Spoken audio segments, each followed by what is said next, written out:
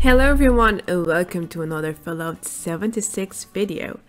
Today we're here to explore the best routes to farm caps in the game. Probably one of the best in my opinion. So what can you expect here?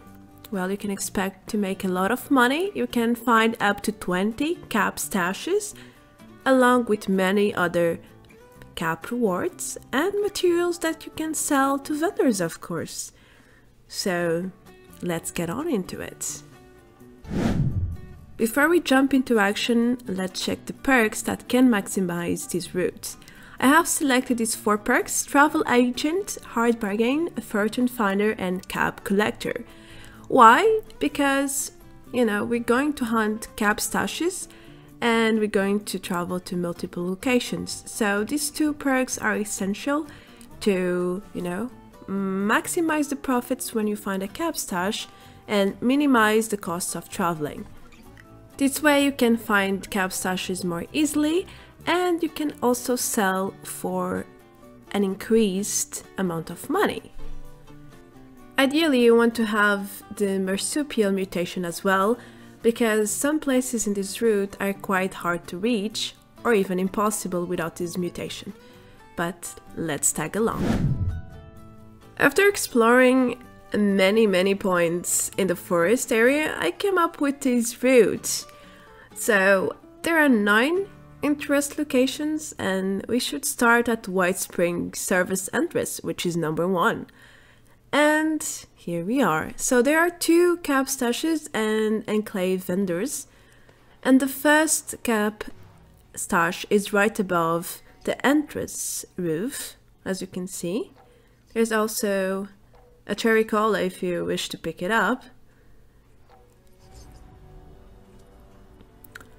And the second stash is inside the bunker. Now keep in mind that you need to do at least the first enclave mission to enter the bunker. If you don't know how to start it, I leave you the link above so you can follow the walkthrough. Anyway, you need to follow the path as if you were going to the military wing except to go always forward until you find this little room where the second stash is usually below the broken computer. And then you can decide if you want to check the terminals or not. I always check if there are any useful mods, like the jetpack, in this vendor. From here you can TP or walk to the Whitespring Resort. There are also supposedly two cap stashes but unfortunately I have only found one so far, which is in this locked room. But you need a pick lock level 3. But it's worth it. Almost every single time I server jumped, the stash was here. So it's really worth to take the perk to unlock this door. And you can get some little more cash every time you come to sell your stuff here. The next stash is supposedly here at the Bespoke store under the counter, but I did not find it. The third location I have included is the Whitespring Golf Club, and it is optional because there are no cap stashes here at all, but there are some dozens of ghouls that drop caps, ammo, scrap, all sorts of useful items that you can sell to the nearby vendors or any other vendors of your choice. So it's great experience, it's decent money. So if you are here, if you are following this route, you are here for sure.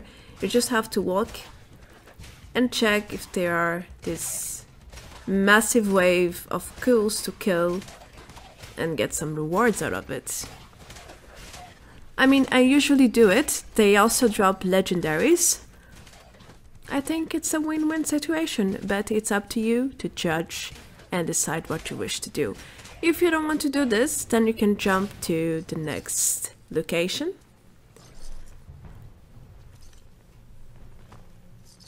Also a quick note here, if you go forward to the next housing area, you will also find some ghouls and some legendary enemies, which of course drop legendary um, items.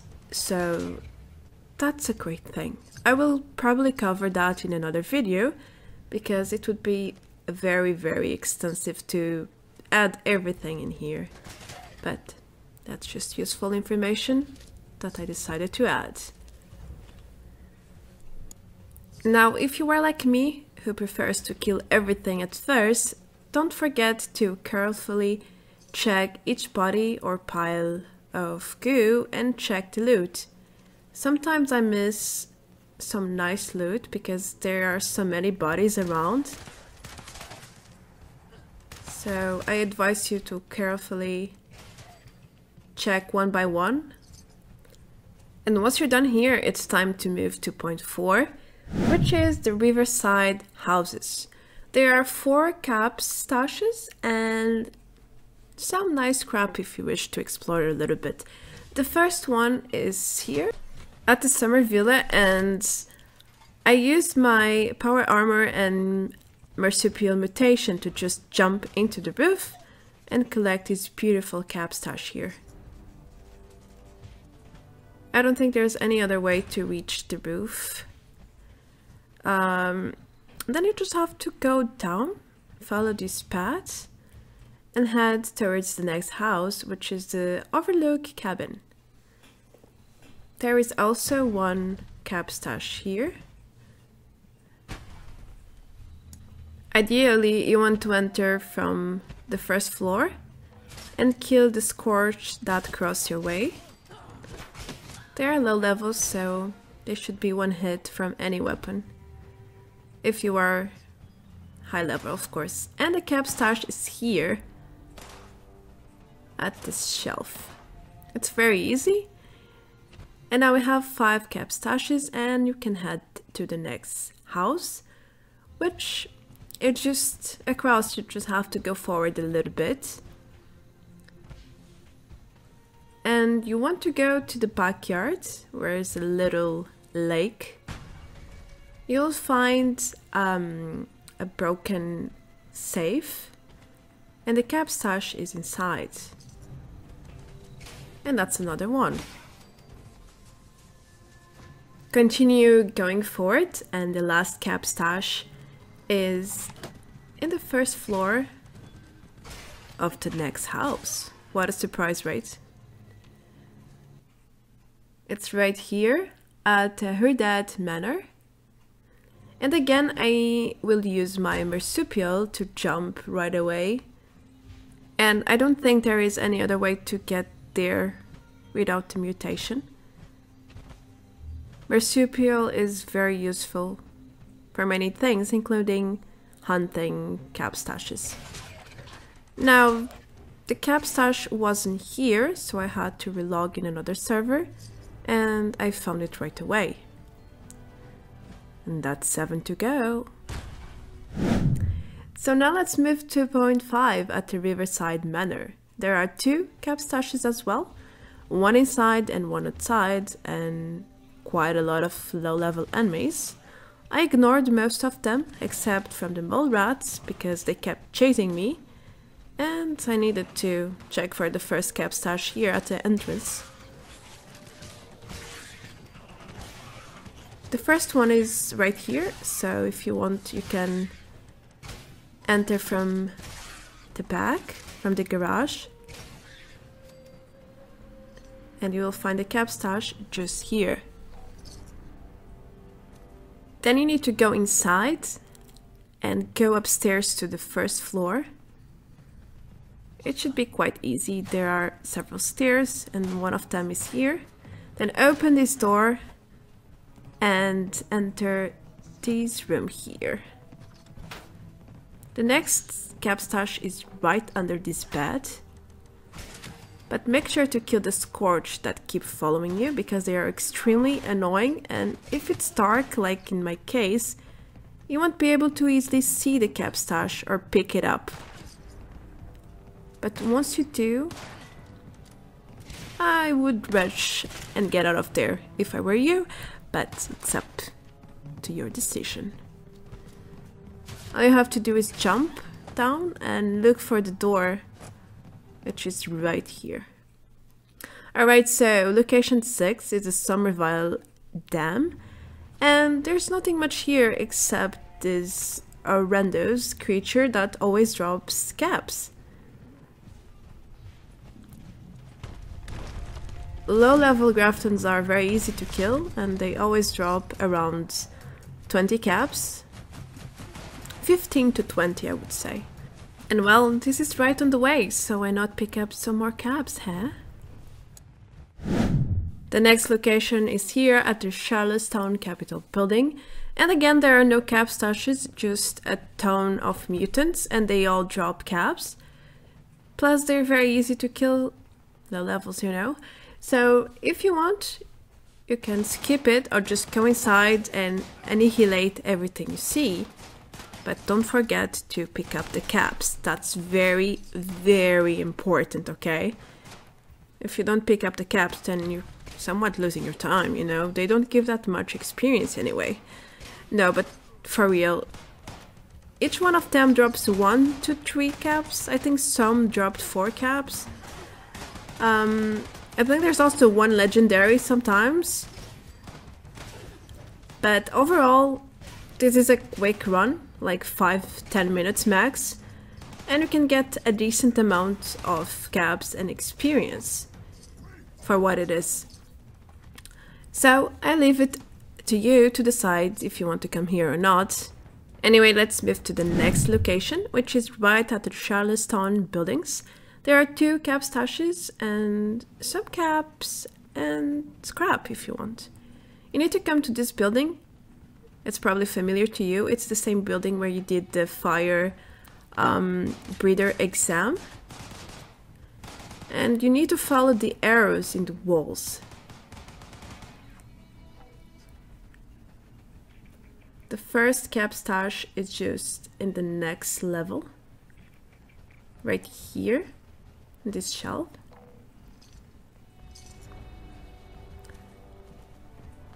And hey, we are with 10 cap stashes already. The second one is a little bit off, but all you have to do is to head to the next building and go upstairs immediately. Then you will be able to find the next cap stash inside a broken computer screen right here. It's a bit difficult to pick, but it's there. Alright, so we're done here and we can move to the next location. This is just outside the building and it's not part of the route because it's just a Grafton, another one, yes, that I found along the way. So if you find it as well, it's in this bridge in the railway and it's another 18 free caps for you. I also found this body, but no caps. Okay, the next real location is finally the Poseidon Energy Plant where there are many cap stashes, okay? so when you TP here, you will head towards the tents, where you can find two cap stashes around.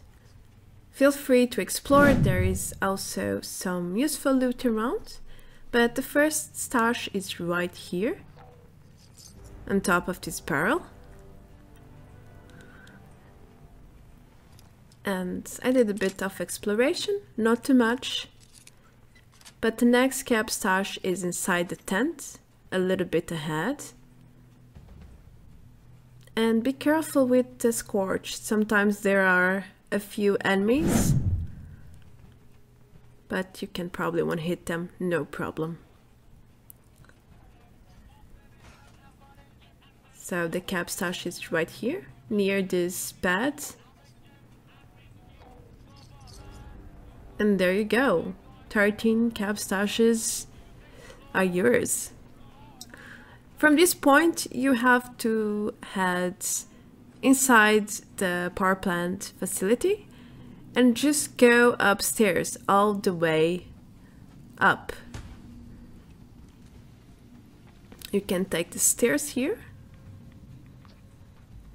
and we can start our hunting. Now, don't do the event because turning the power plant back on will not be good for you because you want to pick up a few cap stashes in another building and if the power plant is on you will take a lot of damage and it's almost impossible to get them.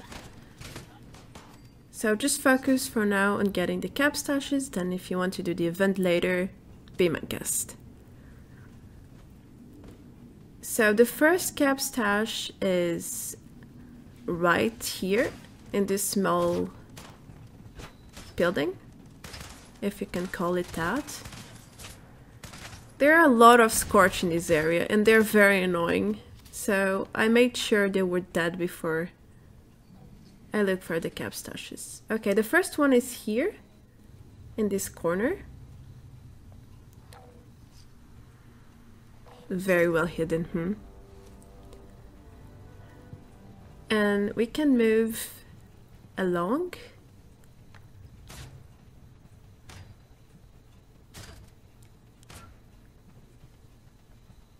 and keep killing whatever comes. Because they won't stop shooting at you, trust me. So from here you want to jump right there, down. And there will be a cap stash just behind this part here.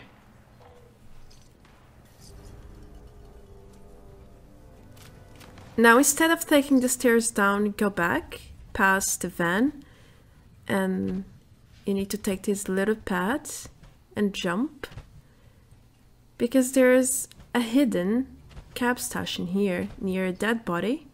There is also some food and RadAway.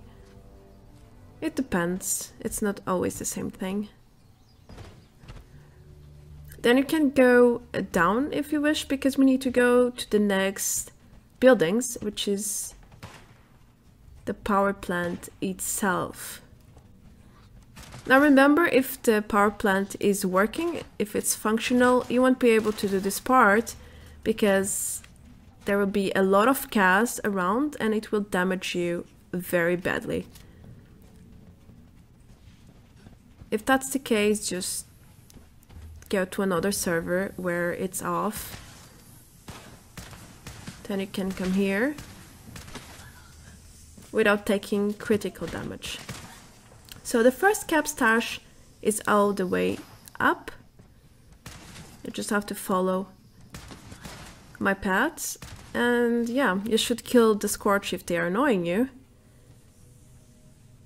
I hate taking free damage. So the cap stash is here in this little building above the safe. Which you can open if you have the skill and the will to do it.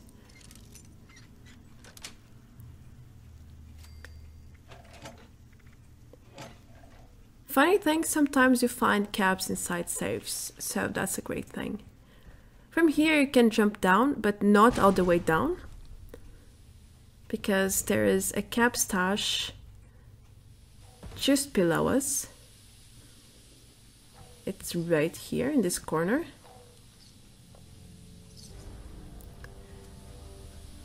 And damn, the farming is real. So there are two more cap stashes and one of them is inside the facility and you can just enter through that blue door there but before I go inside, uh, there is one more cap stash I want to get outside. So we need to get out of this area. So just jump down and look for a way outside these walls. And you need to take the metal stairs, these ones, and go all the way up, almost, in the last level of stairs, you will see an opening to your left, and that's where you want to go.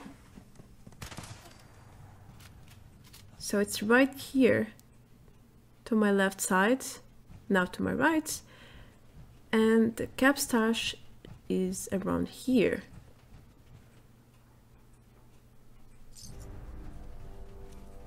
Okay, so now you can take one of the doors to go inside, I just went back where we were And now the goal here is to find the command room because there is a cap stash there.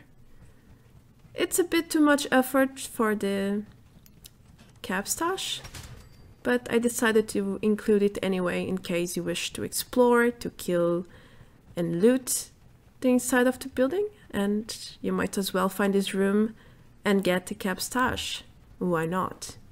The way there is a bit confusing, but all you have to do is look for a metal door that looks a little bit rusty, like brown, like this one. And it will probably be there. And the command room is like this, and the cap stash is right here to my right. And my friend was doing the event and I just got the rewards. Yay.